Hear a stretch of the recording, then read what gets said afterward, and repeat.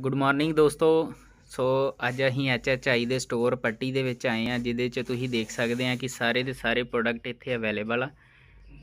ਔਰ ਜਿਹੜੀਆਂ ਚੀਜ਼ਾਂ ਤੁਹਾਨੂੰ ਨਾ ਵੀ ਮਿਲਣਗੀਆਂ, ਉਹ ਥੋੜੇ ਦਿਨਾਂ ਦੇ ਵਿੱਚ ਵਿੱਚ ਹੀ ਤੁਹਾਨੂੰ ਅਵੇਲੇਬਲ ਹੋ ਜਾਣਗੀਆਂ। ਸੋ ਜਿਹਦੇ ਵਿੱਚ ਆਪਾਂ ਨੂੰ ਹਰ ਇੱਕ ਤਰ੍ਹਾਂ ਦੀਆਂ ਦਾਲਾਂ, ਸਰਫ, ਸੋਪ, ਹੁਣ ਮਾਰਕੀਟ ਦੇ ਵਿੱਚ ਜ਼ਿਆਦਾਤਰ ਲੋਕ ਲੈਕਸ ਨਾਲ ਕੰਪੈਰੀਜ਼ਨ ਕਰਦੇ ਕਿ ਸਾਨੂੰ ਲੈਕਸ ਸਾਬਣ ਚਾਹੀਦਾ। ਲੇਕਿਨ ਲੈਕਸ ਦੇ ਬਦੌਲਤ ਇਹਨਾਂ ਨੇ ਉਹ ਸਾਬਣ ਦਿੱਤੇ ਕਿ ਜਿਹੜੇ ਇਹਦੇ ਨਾਲੋਂ ਵੀ ਸਸਤੇ ਪਿੰਦੇ ਆ।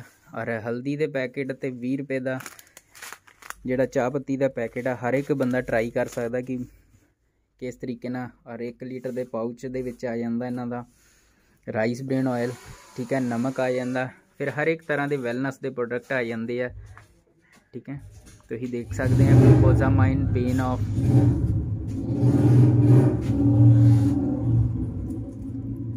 ਉਸ ਤੋਂ ਬਾਅਦ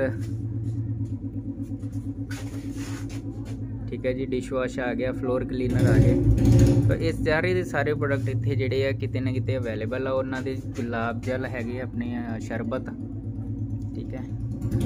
ਔਰ ਹੈਂਡ ਸੈਨੀਟਾਈਜ਼ਰ